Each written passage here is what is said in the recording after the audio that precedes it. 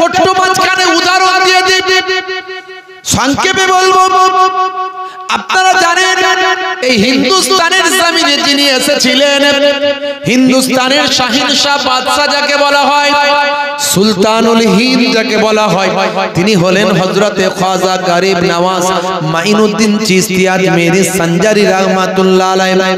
বন্ধুরা, আমার তরুণ যুবকেরা আমার, হে আমার মুরব্বিয়ানিরা শুনে রেখে দেন, জেনে রেখে দেন হিন্দুস্তানের জামিনে তিনি যখন এসেছিলেন, তখন আজমি শরীফের জামিনে শেরেক চলতো। আজমির শরীফের জমিনে একটা টেম্পল ছিল আর আজমি শরীফের জমিনে ভাই আমার ওই আনা সাগরটা ছিল। আনা সাগর কোন সমুদ্র নয়। আনা সাগর কোন সমুদ্র নয়। আনা সাগর হলো একটা হ্রদ, একটা বিশাল বড় একটা পুকুর বা একটা বিশাল বড় দিঘি।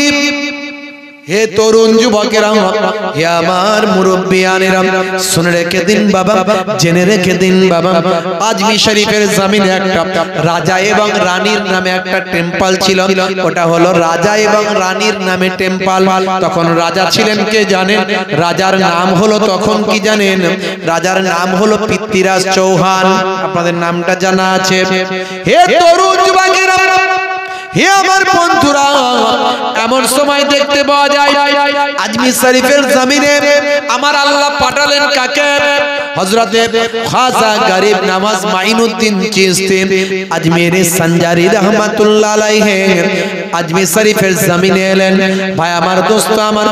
আজমিরের মানুষেরা টোটাল ওই এলাকার মানুষেরা, দূর দূরান্তের মানুষেরা, ওই টেম্পলে আসতো, ওই রাজা রানীর নামে যে টেম্পল ওই টেম্পলে আরাধনা করত, তপস্যা করত, আর ওখান থেকে আনা সাগরে গিয়ে ডুব দিত। আনা সাগরে গিয়ে যদি ডুব দেয়, তাহলে তাদের বিশ্বাস তাদের জীবনের সমস্ত পাপ ধুয়ে চলে যায়। এই টেন্ডেন্সি এই চরিত্র এখনও কোন কোন জায়গায় আছে না নাই? আছে না নাই? পীরের মাজারের পাশে বড় পুকুর, বলে ডুবুক দিলি নাকি পাপ সব ধুয়ে যাবে। কেউ বলছে আমার আবার সন্তান হবে, কেউ বলছে অমুক হবে। এসব আছে না নাই? মানে সেই টেন্ডেন্সি এখনও আছে। ভাই ভাই পুকুরে লাইলে আবার পাপ ধুয়ে যায়। তুমি পাপ করবে রাস্তায় পাপ করবে বাড়িতে পাপ করবে গাড়িতে পাপ করবে কোন জায়গায় আর পুকুরে লাইলি ধুয়ে চলে যাবে কি গায়ের ময়লা নাকি? হ্যাঁ? তাহলে এসব ভণ্ডামি এখনও আছে। সব কিছুর মালিক আল্লাহ। কে? জোরে বলেন কে? চাইতে হবে কার কাছে? বলতে হবে কার কাছে? মানতে হবে কার কাছে? আমরা আল্লাহর অলিদের কাছে জ্ঞান অর্জন করব শিখব জানব। তারা সঠিক ইসলামটা আমাদেরকে দিয়ে গেছে। তাদের মধ্যে কি আছে? এই যে তাকুয়াটা ঠিক আছে। বড় বড় আলেম আমি দেখেছি এইখানটায় গন্ডগোল মনে হিংসা বিদ্বেষ ভাষা খারাপ এর বিরুদ্ধে বলছে ওর বিরুদ্ধে বলছে। চগলখড়ি করছে, চায়ের দোকানে বসে বসে ষড়যন্ত্র করছে, অথচ বোখারি পড়ায়, তিরমিজি পড়ায়, আবু দাউদ পড়ায়, নাসাই পড়ায় পড়ায়, বড় বড় আলেম। ভাই, ইবলিস শয়তানের থেকে বড় আলেম কেউ আছে? আর জোরে বলেন, তাকে তো আল্লাহ মুআল্লিমুল মালাকুত করেছিল। তার কি নাই? আদব ছিল না, তাজিম ছিল না, সম্মান ছিল না। আল্লাহ এবং রাসুলের নির্দেশ মানা তার যে ইচ্ছা সেটা ছিল না। সে সব করেছিল। আদমকে সিজদা করেনি। কথা ঠিক না ভুল? আল্লাহ বলেছিলেন উসজুদুল আদম। আদম কো সিজদা করো, ফাসা জাদু সবনে সিজদা কিয়া ইল্লা ইবলিস ইবলিস ব্যতীত। আল্লাহ বললেন, আবা ওয়াস্তাকবারা ওয়া কানা মিনাল কাফিরিন। তুমি তাকাব্বুর করলে, অহংকার করলে, তুমি কাফেরদের অন্তর্ভুক্ত হলে, গেট আউট ফ্রম হিয়ার, বেরিয়ে যাও। বাপেরা আমার, তরুণ যুবকেরা আমার, মুরব্বিয়ানেরা আমার, আল্লাহর অলিরা এই শিক্ষাগুলো দেন। এই জন্য পীর মাসায়েকদের দরবারে যেতে হয় অলিদের দরবারে যেতে হয়, আলেমে হাক্কানিদের দরবারে যেতে হয়, তারা আপনাদের কাল্পটাকে অন্তরটাকে পরিবর্তন করে দেন। তোমার মধ্যে হিংসা থাকবে না, চগলখড়ি থাকবে না, বিদ্বেষ থাকবে না, আদব থাকবে, তাজিম থাকবে। কীভাবে জীবন যাপন করতে হবে, সেটা তারা শিখিয়ে দেন। হে তরুণ যুবকেরা হে আমার বন্ধুরা শুনে রেখে দিন বাবা জেনে রেখে দেন হে মুসলমান একটুখানি খেয়াল করুন, বাবা। আজমির শরীফের জমিনে আমার আল্লাহ পাঠালেন কাকে? তিনি হলেন হিন্দুস্তানের শাহিন সাবাদ সুলতানুল হিন্দ হজরতে খাজা গরিব নওয়াজ মাইনুদ্দিন চিস্তি, আজমির সঞ্জারি রহমাতুল্লাহ তিনি এসে গেলেন, হে তরুণ যুবকেরা, আনা সাগরের পারে তিনি একটা ভাই আমার তাঁবু খাড়ালেন। তার সঙ্গী ফলোয়ার্স যারা ছিলেন, একটা তাঁবু খাড়ালেন। হে তরুণ যুবকেরা, হে আমার মুরব্বিয়ানেরা পরিষ্কার, পরিচ্ছন্ন জায়গা দেখে সেখানে একটা তাঁবু খাটিয়ে ফেললেন। হে তরুণ যুবকেরা, সেই তাঁবুতে তিনি থাকলেন। ভাইরা আমার, সেই সময়টা হলো আসরের সময়। আসরের সময়, এই আসরের সময়েতে আল্লাহর মাহবুব বান্দা, তিনি তার মুরিদকে বললেন, বাবা কুতুবুদ্দিন বাবা কুতুবুদ্দিন আসরের সময় হয়ে গিয়েছে, বাবা, আজানটা দাও। কুতুবুদ্দিন তিনি আজান দিলেন। সেই সময় আজান শুরু হয়ে গেল। আজমিরের মানুষ আজান কাকে বলে জানে না। আল্লাহু আকবার আল্লাহু আকবার। আল্লাহু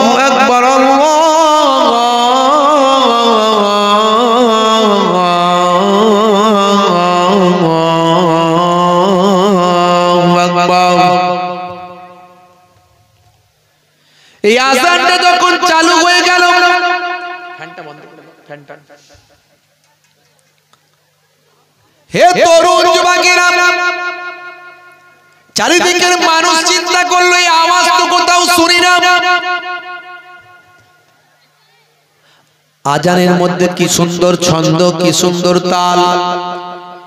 আজান যখন দেওয়া হয়, মুয়াজ্জিন যখন আজান দেয়, তার মানে নামাজের আহ্বান করে দেয়। মুয়াজ্জিন যখন আজান দেয়, নামাজের আহ্বান করে দেয়, হাইয়া সালাম, এসো নামাজের দিকে এসো। মুয়াজ্জিন যখন বলে, হাইয়া আলাস সালাম মুসলমানের ছেলে বলে, এবার পাঁচতলাতে পালাম। বলে, কেন রে ভাই? না মুয়াজ্জিন আওয়াজ দিয়েছে তাই। মুয়াজ্জিন আজান দিয়েছে তাই। যদি দেখতে পাই তাহলে বলবে, এ পল্টু নামাজ পড়বি আয়। তাই তাড়াতাড়ি পাঁচতলাতে যাই, ক্যারাম খেলব ভাই। এই বলে তারা পালায়। হে তরুণ যুবকেরা, অথচ এই আজানের কি সম্মান? আজান যখন দেওয়া হয় আহ্বানটা করে দেওয়া হয়, নামাজের দিকে ডাক দেওয়া হয়। বন্ধুরা, আমার তরুণ যুবকেরা, আল্লাহ বললেন, হে মুয়াজ্জিন বলে দাও হাইয়াল ফালাহ, যারা নামাজের দিকে আসবে, আমি আল্লাহ তাদের দুনিয়া এবং আখেরাতে কামিয়াবি দান করে দেব। মুসলমানের ছেলে, আর নামাজের সময় হলে তারা বলে, হুজুর, কাজ করব না, নামাজ পড়ব? আগে কাজ না আগে নামাজ। আছে না নাই? আগে কাজ না আগে নামাজ। তারা বলে হুজুর জোহরের সময় কাজ করব না নামাজ পড়ব? জোহরের সময় আমরা খাব খেতে গেলে তো কাজ করতে হবে। ইনকাম করতে হবে ইনকাম করলে তো কাজ করতে হবে। জোহরের সময় আমরা কাজ করি তাই নামাজ হয় না। আসর আর মাগরেব, আসর আর মাগরেবটা আমাদের ওই কি বলে মাইন্ড ফ্রেশ করতে চলে যায়। সারা দিন ধরে খাটাখাটনি করা শরীর, তা আমরা মাইন্ড ফ্রেশ করি আসর আর মাগরেব। একটু চায়ের দোকানে গিয়ে চা খাই, ক্যারাম খেলি, তাস খেলি, আছে না নাই? হ্যাঁ এই করতে করতে সময় যায়। এসার সময় এসার সময় কি করে? এসার সময় তারা ওই মগরেবের পরে যখন দোকান থেকে বাড়িতে ফেরে, ক্যারাম খেলে, তাস খেলে হ্যাঁ এইসব করে যখন বাড়িতে ফেরে, ক্লান্ত হয়ে যায়, খায় আর ঘুমায়। দেখা গেল সারা দিনের পাঁচ ওয়াক্ত নামাজ কোনটা দিয়ে পালিয়ে গেল টেরি পেল নাই আর ফজরের নামাজ তো শুনতেই পায় না। ফজরের নামাজ শুনতেই পায় না। হ্যাঁ। আল্লাহকে গিয়ে বললে কোনো কাজ হবে না। হে তরুণ যুবকেরা, নামাজটা পড়তে হবে, নামাজের কোনো বিকল্প নাই। আল্লাহর দরবারে ও সব কথা বললে কোনো কাজ হবে নাই।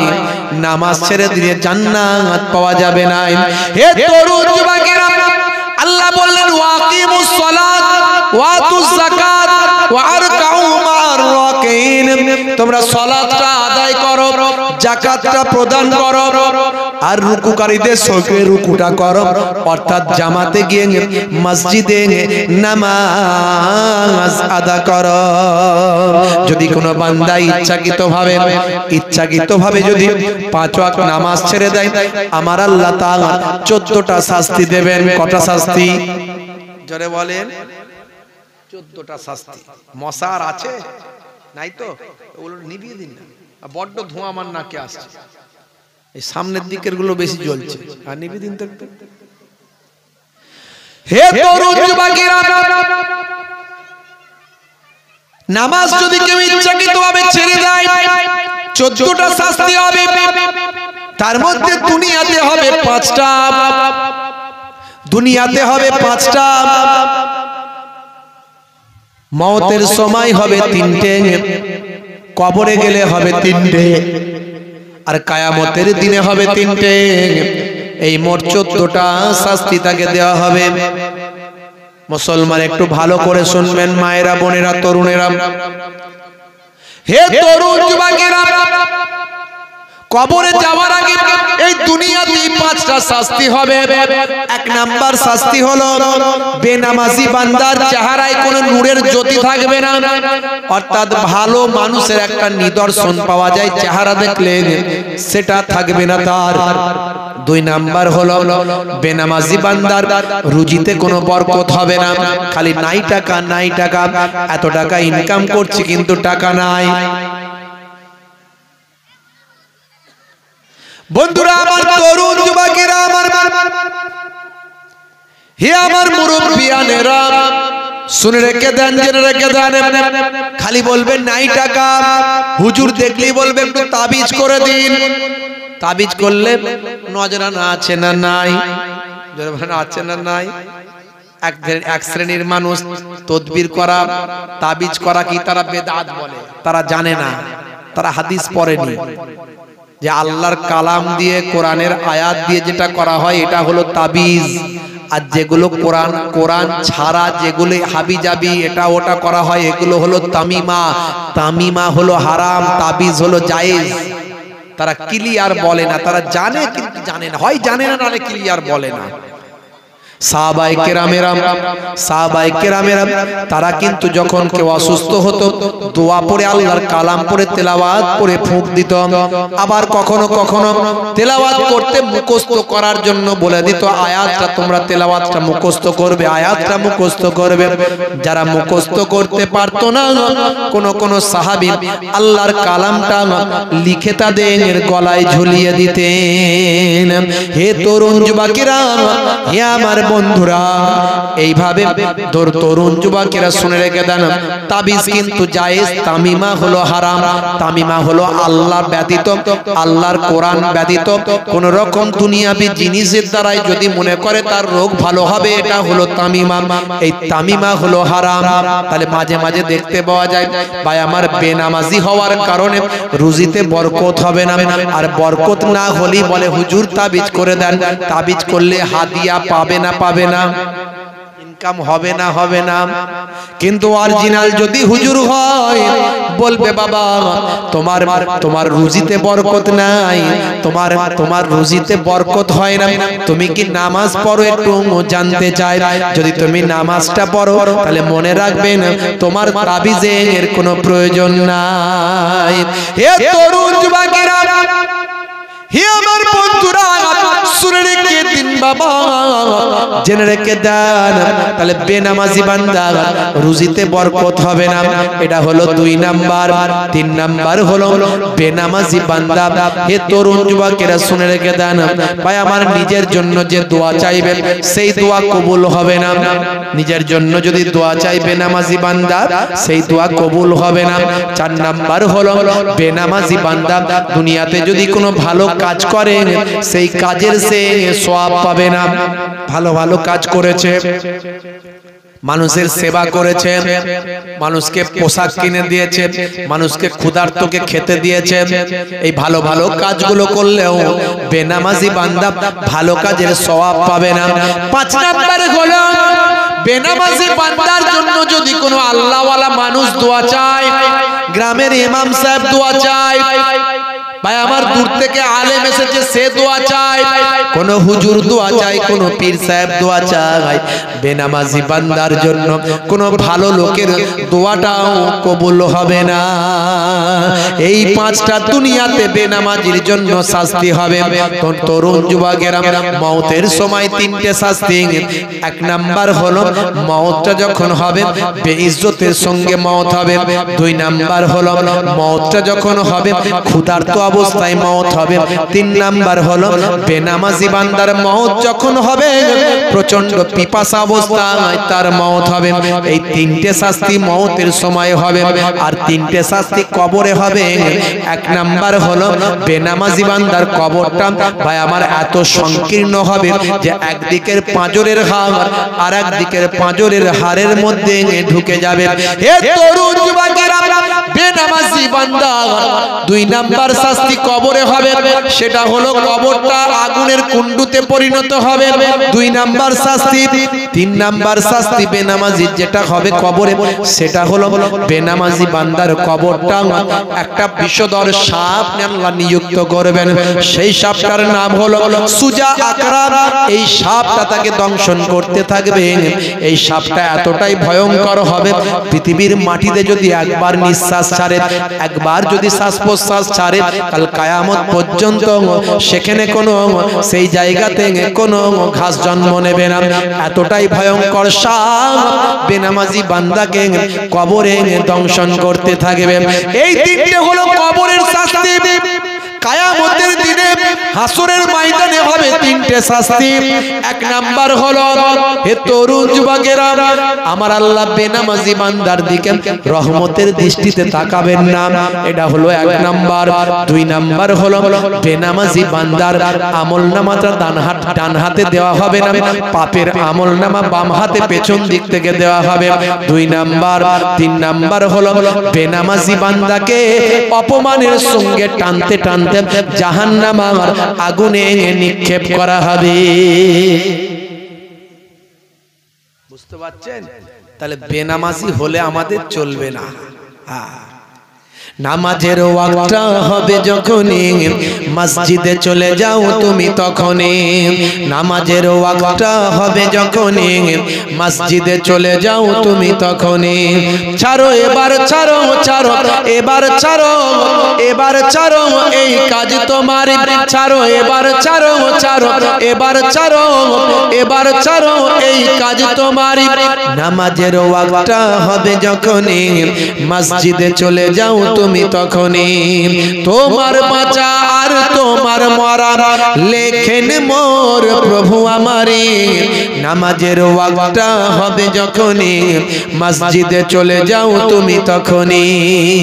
জোরে হবে না, জোরে হবে না, আর জোরে হবে না। ফজরের সময় ঘুমিয়ে থাকি, জোহরে কি দেব কাজে ফাঁকি? ফজরের সময় ঘুমিয়ে থাকি, জোহরে কি দেব কাজে ফাঁকি? আসরার জোহরের সময় কাজে ফাঁকি, ফজরের সময় ঘুমিয়ে থাকি, জোহরে কি দেব কাজে ফাঁকি? রাখো, এসব রাখো রাখো, এসব রাখো এসব রাখো, কথা তোমারই। আসর আর মাগরিব হেলা করি, দোকানার আড্ডায় সময়টা দিন। মরলে তোমাকে যেতে হবে, মাটির নিচে ঘর তোমারই। নামাজের ওয়াক্তটা হবে যখনই, মসজিদে চলে যাও তুমি তখনই। জোরে হবে না? আর জোরে হবে না? এসার সময় ঘুমিয়ে পড়ি শরীরটা ক্লান্ত মেলিয়ে দিন। এসার সময় ঘুমিয়ে পড়ি শরীরটা ক্লান্ত মেলিয়ে দিন। না না এসব বলো না এসব বলো না এসব বলো না বান্দা তুমি। না না এসব বলো না এসব বলো না এসব বলো না বান্দা তুমি। রুটি রুজি দিচ্ছে তিনি জীবন মরণের মালিক তিনি। রুজি রুটি দেওয়ার মালিক কে? যে বলেন কে? রুটি রুজি দিচ্ছে যিনি জীবন মরণের মালিক তিনি। তোমায় আমায় জীবন দিয়ে ভালো রেখেছেন প্রভু আমারি। নামাজের ওয়াক্তটা হবে যখনই। মসজিদে চলে যাও তুমি তখনই। বন্ধুরা আমার মুসলমান বেশিরভাগ মানুষ নামাজ ছেড়ে দিয়েছে। এই জন্য আল্লাহ নারাজ। দুনিয়াতেও শান্তি নাই, আখেরাতেও মুক্তি নাই। মুসলমান আজকে নায়ক গায়কের ভক্ত হয়েছে। Cassius Clay Tyson Hanuman Gary Miller, Jennifer, Michael Jackson ইলিমা দিমা প্রিয়াঙ্ক বিশ্বনবীর শিষ্য হয়েছে। আর আজকে আমার আপনার বাপ মুসলমান, দাদু মুসলমান। আমাদের কোরআনের কথা ভালো লাগে না হাদিসের কথা ভালো লাগে না। আমরা নামাজ ছেড়ে দিয়েছি দিন ছেড়ে দিয়েছি। বাপজি আমার। আল্লাহর ওলিরা কত কষ্ট করে আমাদেরকে দিন শিখিয়েছেন। একটু ভাবুন তো দেখি যে সময় আজমির শরীফের জমিনটাই কি ছিল? তখন তারা রাজা রানীর নামে একটা টেম্পল সেই টেম্পলে তারা এবাদত করত। আর আনা সাগরের মতো একটা বড় পুকুর ছিল। সেখানে গোসল করলেই বলতো সব পাপ আমাদের ক্ষয়ে গেছে। সেই সময় আজমিরের জমিনে আল্লাহ কাকে পাঠালেন? কে এলেন? তিনি হলেন হজরতে খাজা গরিব নওয়াজ মাইনুদ্দিন চিস্তি আজমিরি সঞ্জারি রহমাতুল্লাহ খাজা গরিব নওয়াজের দরবারে গিয়ে অনেকে সেরেক করে, অনেকে অন্যায় করে, মাথা ঠেকিয়ে দেয়। যারা করে তারা ভুল করছে, যারা করাচ্ছে তারা ভুল করছে। তারা অন্যায় কাজ করছে, সেরেক কাজ করছে। কিন্তু আল্লাহর অলিদের আমরা ভালোবাসি, কথা ঠিক না ভুল? আল্লাহর অলিদের ওসিলায় আমরা দিন পেয়েছি। হে তরুণ যুবকেরা হে আমার বন্ধুরা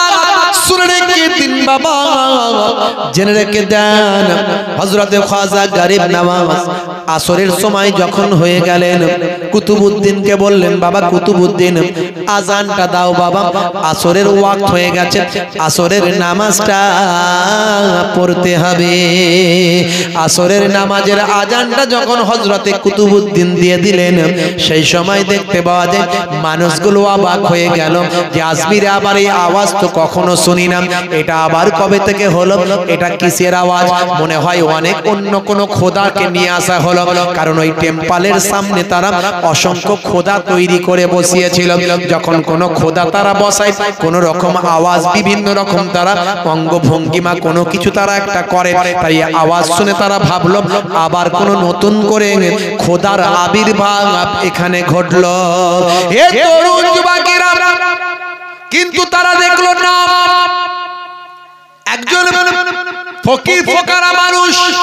কিছু তার সঙ্গী সাথী আছে। তারা এই আজানটা দিচ্ছে আওয়াজটা দিচ্ছে। এই আওয়াজটা দিচ্ছে কেন বাবা? আপনারা কারা? তখন আল্লাহর অলির শিষ্য মুরিদরা বললেন বাবা আমরা হলাম মুসাফির। আমরা হলাম আল্লাহর বান্দা নবীর উম্মত। আমাদের হুজুর আমাদের পীর আমাদের সঙ্গে নিয়ে এখানে এসেছেন বাবা। কয়েকদিন আমরা এখানে থাকব কয়েকদিন এখানে থেকে দিনের কাজ করব। এখান থেকে থেকে আমরা আবার চলে যাব। হুজরার মধ্যে আছেন তারা, তাবুর মধ্যে আছেন, তাবু খাটিয়েছেন বাবা। হে তরুণ যুবকেরা, হে আমার মুরব্বিয়ানেরা, হে জওয়ান যুবকেরা, আল্লাহর মাহবুব ভাই, আমার দোস্ত, আমার সেই সময় আজানটা দিয়েছেন। এই আজানটা দেওয়ার পর মানুষজন অবাক হয়ে গিয়ে যখন জিজ্ঞাসা করেন ব্যাপারটাকে একটু খুলে বলুন। সেই সময় তিনি বললেন, দেখো বাবা, এই আজানটা দেওয়ার অর্থ হলো নামাজের আহ্বান। এখন আমরা সকলেই নামাজে মাসগুলো হব। নামাজ, আমরা এখন নামাজ পড়ব। নামাজে মশগুল হয়ে যাব। আল্লাহর অলি বান্দার কথা শুনে তারা অবাক হয়ে গেল। তারা তো এগুলো কোনোদিন দেখেনি যে এটা কীরকম আজান কীরকম নামাজ। তারা ভাবলো, কিছু একটা হবে হয়তো। বন্ধুরা আমার, তরুণ যুবকেরা আমার, হুজুর আজান দিলেন, নামাজ পড়ে নিলেন। আবার মগরেবের সময় হয়ে গেল। মগরেবের সময় হতে হুজুর বললেন, বাবা, নিজামুদ্দিন, কুতুবুদ্দিন, আবার আজান দাও, মগরেবের জামাতটা করো হে তরুণ যুবকেরা, হে আমার বন্ধুরা, হে আমার মুরব্বিয়ানেরা, শুনে রেখে দিন বাবা, জেনে রেখে দিন বাবা, মগরেবের সময় হয়ে গেল। ধোঁয়া কোয়া থেকে আসছে? যতক্ষণ এসেছে শুধু ধোঁয়ার উপর দিয়ে যাচ্ছে। হ্যাঁ? আল্লাহ, খালি মশা তাড়াচ্ছে মশা তাড়াতে গিয়ে বক্তাও তাড়িয়ে দিই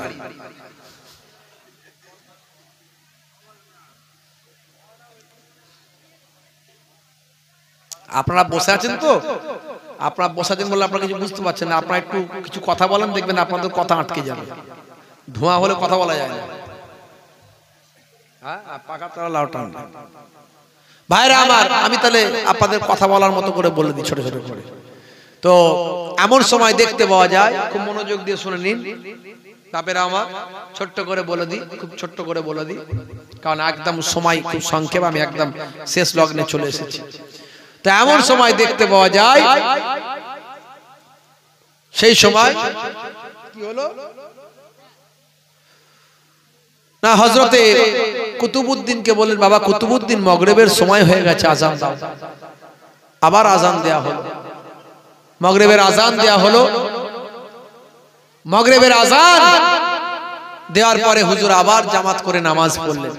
নামাজের পরে মুরাকে বা মুশাহিদা জিকিরে মাজগুল হলেন, বাবারা, আমার পেছনে তোমরা জিকিরে বসে যাও, জোরে বলুন, সুবহানাল্লাহ। কোরআন মাজিদে আল্লাহ রাব্বুল আলামিন বলছেন, ফাজকুরুনি আজকুরুকুম, বান্দা তোরা আমাকে স্মরণ কর, আমি আল্লাহ তোদের স্মরণ করব। আর যারা আমাকে স্মরণ করবে অস্কুরুলি ওয়ালা তাকফুরুন, তোরা আমার শুকরিয়া আদা কর, আমি আল্লাহ তোদের নিয়ামত বাড়িয়ে দেব। তোদের বরকত দেব, তোদের মালে মালামাল করে দেব। সেই আল্লাহর নির্দেশকে আমাদের মান্যতা দিতে হবে। দেখুন, খাজা গরিব নওয়াজকে আল্লাহ কি নিয়ামত করেছিলেন, তিনি কত মেহনত করেছিলেন। কত কষ্ট করেছিলেন আমাদের জন্য, আমাদের হেদায়েতের জন্য। একটু ভাবুন। একজন তখন ইমানদার নাই আজমিরের জমিনে। তিনি সেখানে আজান দিয়ে নামাজ পড়লেন মগরেবের আজান দিয়ে নামাজ পড়ে। কয়েকজন মুরিদিন কয়েকজন মুহেব্বিন ভালোবাসার মানুষকে নিয়ে পেছনে জিকিরে মাসগুল হলেন। এই করতে করতে কিছু সময় কেটে গেছে। একদল রাখাল তারা উটের পাল নিয়ে সেখানে এসে হাজির। উটের পাল নিয়ে সেখানে এসে হাজির। এসে বলে বাবা ফকির সাহেব তোমরা কারা? তোমরা কারা বাবা? বলে আমরা হলাম আল্লাহর বান্দা আর রাসূলের উম্মত আর আমরা এক একজন মুসাফির মেহমান মুসাফির হয়ে এখানে এসেছি। আমার আল্লাহ এখানে নিয়ে চলে এসেছেন আমাদেরকে আমরা এখানে এসেছি। কয়েকদিন থাকব মানুষকে ভালো কথা কিছু শোনাবো শুনি আবার চলে যাব। তাবু গেড়েছেন তাবু গেড়ে আছে কাদেরকে ভালো কথা শোনাবে যারা আল্লাহ জানে না নবী জানে না। বন্ধুরা আমার রাখাল রাখালরা বলল তোমরা যে চকচকে জায়গাটায় তাঁবু খাটিয়েছ এটা হলো রাজা মশাইয়ের উট রাখার জায়গা। এখানে থাকা যাবে না। এখানে থাকা যাবে না। এখান থেকে চলে যাও অন্য কোথায় গিয়ে তাবু খাটাও। এখানে থাকা যাবে হে তরুণ যুবকেরা হে আমার বন্ধুরা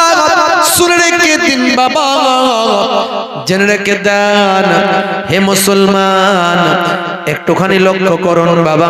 সেই সময় দেখতে পাওয়া যায়, আল্লাহর মাহবুব বান্দা নওয়াজ মাইনুদ্দিন চিশতি আজমিরি সঞ্জারি রাহমাতুল্লাহ সেই সময় বলেছিলেন বাবা আচ্ছা তোমাদের, ও বাবা রাখালেরা তোমাদের রাজা মশাইয়ের উটটা তো অন্য জায়গাতেও বাঁধা যায়। আমরা বয়স্ক মানুষ, আমরা মুরব্বী মানুষ আমরা এখানে তাঁবুটা খাটিয়ে ফেলেছি বাবা। এখন আবার খোলাখুলি করতে হবে। তাই অন্য জায়গায় যদি তোমাদের উটগুলোকে বাঁধো, অসুবিধা কি হতে পারে বাবা? কয়েকটা দিনই তো থাকব বাবা। তোমাদের উটগুলোকে যদি অন্য জায়গায় বাঁধতে বড় ভালো হতো। রাখালেরা মেজাজ দেখিয়ে বলল, যা বলেছ বলেছ। হে বাবা, ফকির সাহেবরা যা বলেছ বলেছ। আর এমন কথা বলবে না। এই উটগুলো হলো রাজা মশাইয়ের উট।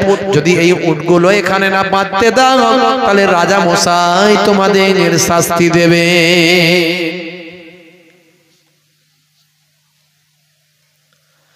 আল্লাহর মাহবুব বান্দা বললেন, কুতুবুদ্দিন, শুনলে তো বাবা, এখান থেকে তাবুগুলো খুলে ফেলো বাবা। রাখালেরা কি বলল শুনলে তো? যদি এখান থেকে আমরা না চলে যাই, তাহলে রাজা মশাই আমাদের শাস্তি দেবেন বলছে। চলো চলো বাবা, এখান থেকে তাঁবুটা খুলে নিয়ে ওই পাশে গিয়ে তাঁবুটা লাগাও। ওই পাশে গিয়ে ওইখানে গিয়ে তাঁবুটা লাগাও। এমন সময় দেখতে পাওয়া যায় হে তরুণ যুবকেরাম হে আমার মুরব্বিয়ানেরাম শুনে রেখে দিন বাবা জেনে রেখে দিন বাবা ভাই আমার তাবুটা খোলা হলো মুরিদিন মুহিদ্দিনেরা আবার তাবুটা খুলে ফেললেন। আল্লাহর ওলি বান্দা খাজা গরিব নওয়াজ হুজুর বললেন বাবা কুতুবউদ্দিন তবে শুনে রেখে দাও রাজা মশাইয়ের উট এখানে বসবে কিন্তু উট আর উঠবে না। উট বসবে আর উঠবে না। সকালবেলা রাখালরা যেমন উট মাদের বেঁধে দিয়ে চলে গেল। হুজুরের তাবু অন্য জায়গায় খুলে করল। সকালবেলা রাজা মশাইয়ের রাখালরা এসে যখন আবার তাবু, ভাই আমার ওই উটগুলোকে তুলে নিয়ে আবার চড়াতে যাবে, সেই সময় দেখছি সত্যি তো উট আর উঠছে না। উট আর উঠছে না। এগুলো কি? আল্লাহর অলিদের কারামাত। কারামাত হলো আউলিয়ায় হক। আউলিয়ায় কেরামদের কারামাত হলো হক।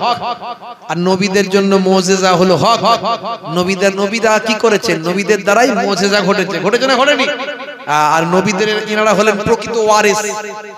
প্রকৃত ওয়ারিস আল ওলামা ও ওয়ারাসাতুল আম্বিয়া। অলি অলি বান্দারা হলো নবীদের বংশধর। কারা? অলি আউলিয়ারা হলো নবীদের বংশধর।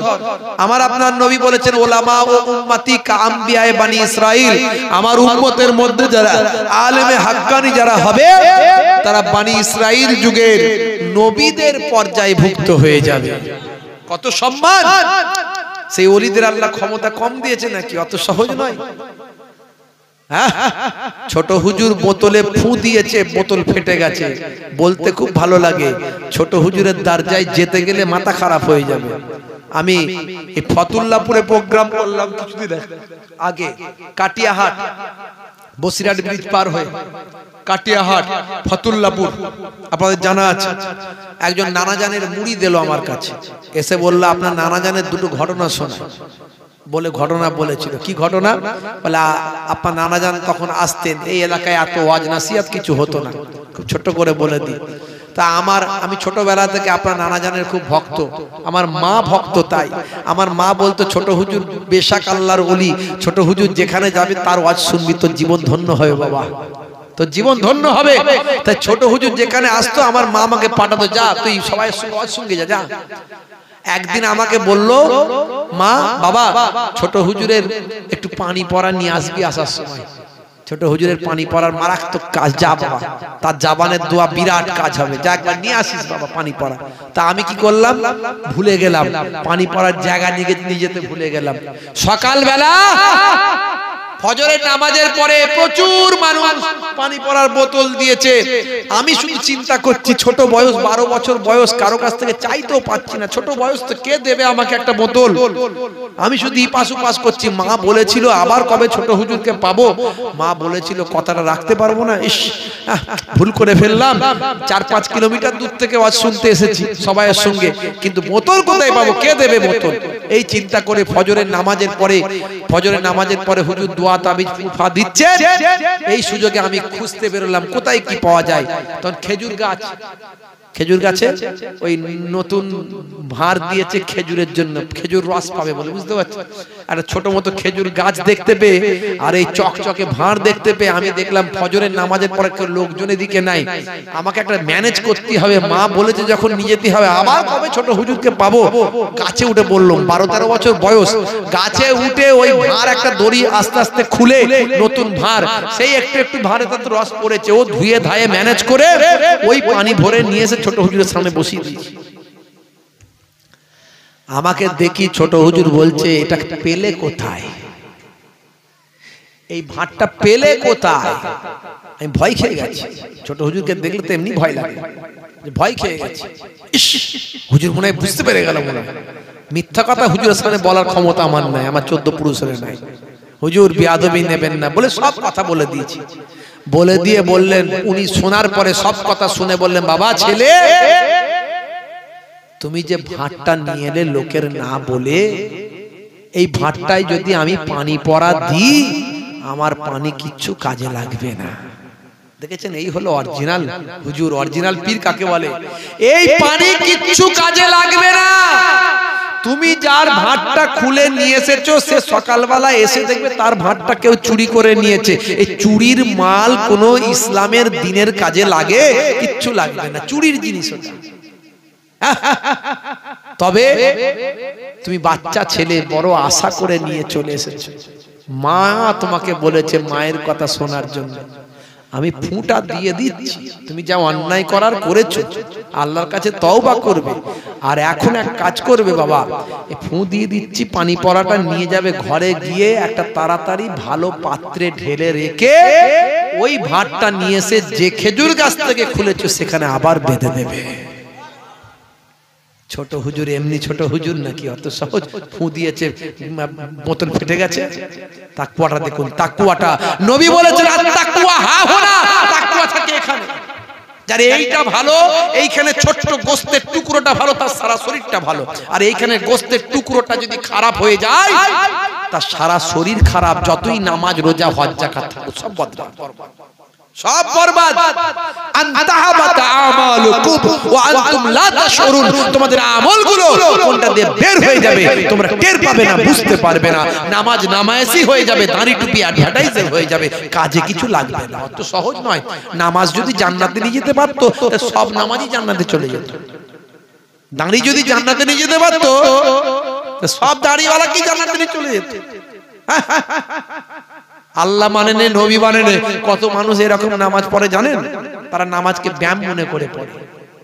আল্লাহ মানে নে, নবী মানে নে। কত মানুষ মুখে দাঁড়িয়ে রেখেছে, দাঁড়িয়ে রেখে ঘুরছে, দেখবেন কত দাঁড়িয়ে। কিন্তু আপনি জিজ্ঞাসা করবেন, ও কলেমাও পড়ে নে, নামাজও পড়ে নে, আর ও সাচ্চা মুসলমান, ও মুসলমানই নয়, কিন্তু বড় বড় দাঁড়িয়ে।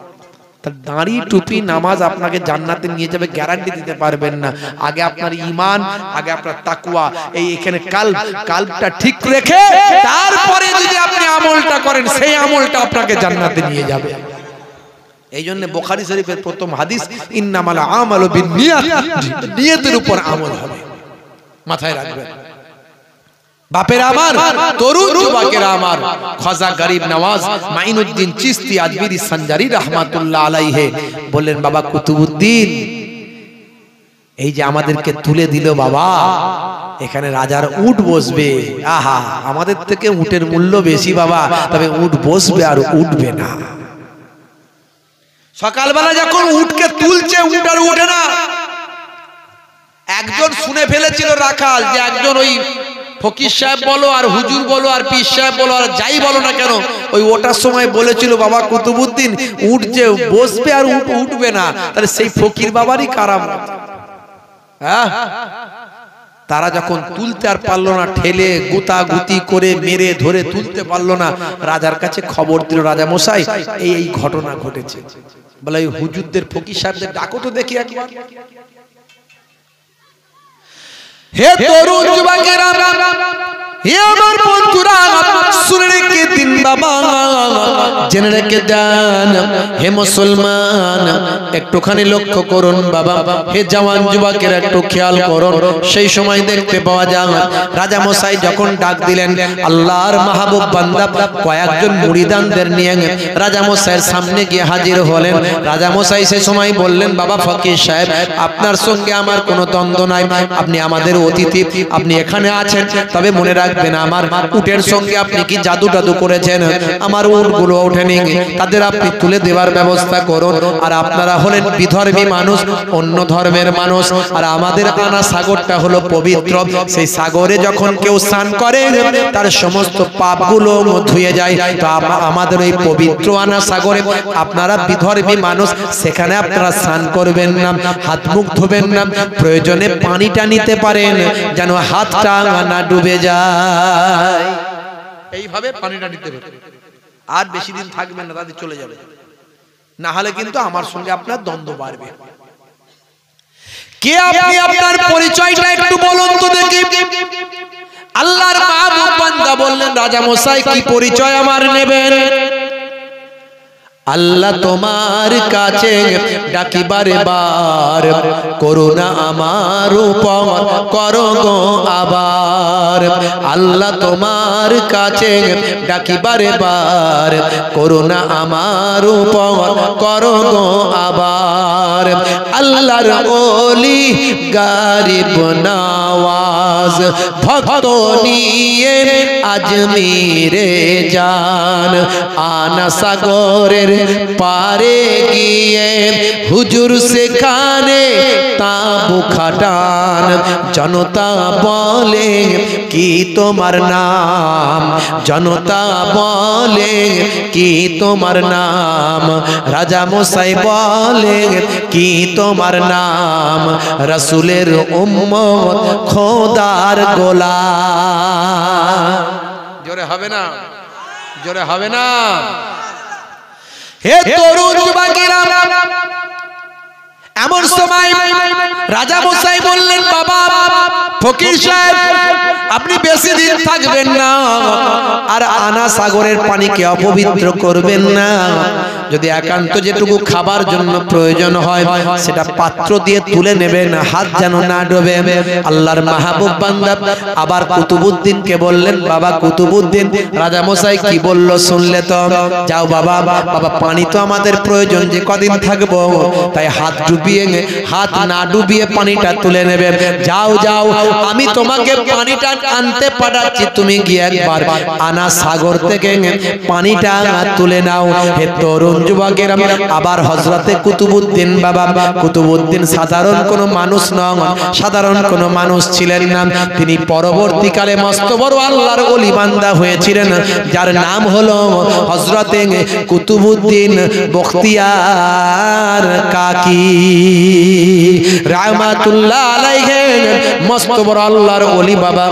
তরুণ আবার গিয়ে আনা সাগরের সামনে গিয়ে যখন পাত্রটা নিয়ে গিয়ে এক পাত্র পানিটা তুলে নিলেন, তোলার সঙ্গে সঙ্গে একটা ঘূর্ণি ঝড়ের মতো, একটা অটোমেটিক ঝড় পানির মধ্যে হলো। সমস্ত পানিটা একসঙ্গে ছোট একটা পাত্রের ভিতর ঢুকে গেল। জোরে হবে না। আনা সাগর শুকিয়ে গেল। এই ঘটনা দেখে এট এ টাইম বত্রিশ হাজার মানুষ খাসা গরিব নামাজের কাছে এসে শিষ্য হয়ে গেল ইমান কবুল করল। এট এ টাইম বত্রিশ হাজার মানুষ ইমান কবুল করল। হে তরুণ যুবকেরা, আবার রাজা মশাইয়ের কাছে খবর গেল সর্বনাশ। ভাই, আমার দোস্ত, আমার সারা এলাকায় হইচই পড়ে গেল। প্রতিদিন হাজার হাজার মানুষ খাজা গরিব নামাজের কাছে এসে ইমান কবুল করছেন। হে তরুণ যুবকেরা হে আমার বন্ধুরা শুনে রেখে দিন বাবা। রাজা মশাইয়ের কাছে খবর গেল সর্বনাশ। রাজা মশাই তাড়াতাড়ি ব্যবস্থা করুন। এই ফকির সাহেবকে এখান থেকে না হাঁটাতে পারলে আর কিছু দিনের মধ্যে আমাদের টেম্পালে আর কেউ করার থাকবে না। আপনাকে রাজা মানার কেউ থাকবে না।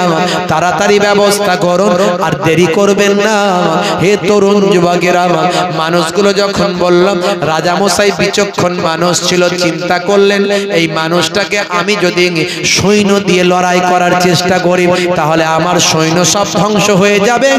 যার এক লোটা পানিতে আনা সাগর শুকিয়ে যাওয়ায় যে একবার মুখ দিয়ে বললেন উটার সেখান থেকে ওঠে না হয় তার সঙ্গে সৈন্য দিয়ে লড়াই করা হয়। বোকামি ছাড়া আর কিছু হবে না। আমি বিশ্বাস করি সে বিশাল বড় একজন জাদুকর তাই তার থেকে বড় জাদুকর। দিয়ে তাকে হারাতে হবে। তাহলে বড় জাদুকর আরও লাগবে। হ্যাঁ? হ্যাঁ রাজামশাই তাই ভাইরা আমার তরুণ যুবকেরা আমার মুরব্বিয়ানেরা আমার। সেই সময় রাজামশাই চেষ্টা করতে লাগল কি করা যায়? এত বড় একজন জাদুকর জাদুকরকে আমি কি করে ভাই আমার পরাস্ত করব। আল্লাহ তোমার কাছে ডাকিবারে বার। ক্ষমতা তুমি প্রভু, দাও না আবার। আল্লাহ তোমার কাছে ডাকিবারে বার। ক্ষমতা তুমি প্রভু, দাও না আবার। রাজার কথাতে দুঃখ পেলেন। খাজা বাবা মুরিদে বলেন রাজার কথাতে দুঃখ পেলেন। খাজা বাবা মুরিদে বলেন, যাও বাবা কুতুব দরিয়ার ধারে, এক লোটা পানি আনগ তুলে, এক লোটা পানিতে দরিয়াটা, এক লোটা পানিতে দরিয়াটা শুকিয়ে হলো পুরো ফাঁকা। জোরে হবে না? জোরে হবে না?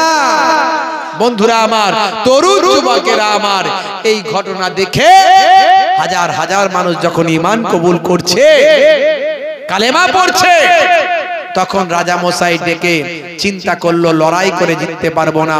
এখন বুঝিয়ে সুজিয়ে অন্তত আনা সাগরের পানি শুকিয়ে গেছে, আবার ভরিয়ে দিতে হবে। যদি প্রয়োজন হয় হাতে পায়ে ধরতে হবে। তাই হাতে পায়ে ধরার জন্য ডাক দেওয়া হলো।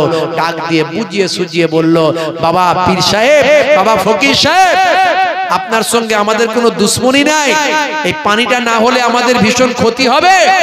আপনি এই পানিটাকে আমাদের দেওয়ার ব্যবস্থা করুন, নাহলে আমরা বড় বিপদে পড়ে যাব। আপনি এটা কি করছেন? আপনি একটু ব্যবস্থা করুন।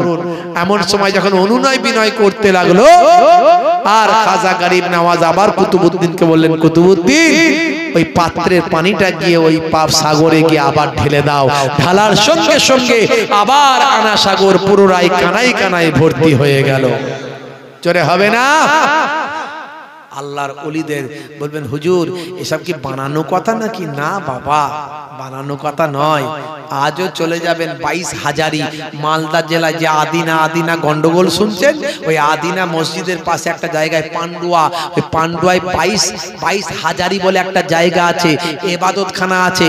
ভাই, আমার জালাল তাবরেজি হুজুরের এবাদতখানা আছে। সেখানে আজও সরকারের পক্ষ থেকে বোর্ড দেওয়া আছে। আমি পনেরো বছর আগে যখন গেছিলাম, তখন দেখেছিলাম অশোক স্তম্ভ দিয়ে টাইলসের বোর্ড এখন টিনের বোর্ড ওয়াকাপ স্টেটের পক্ষ থেকে।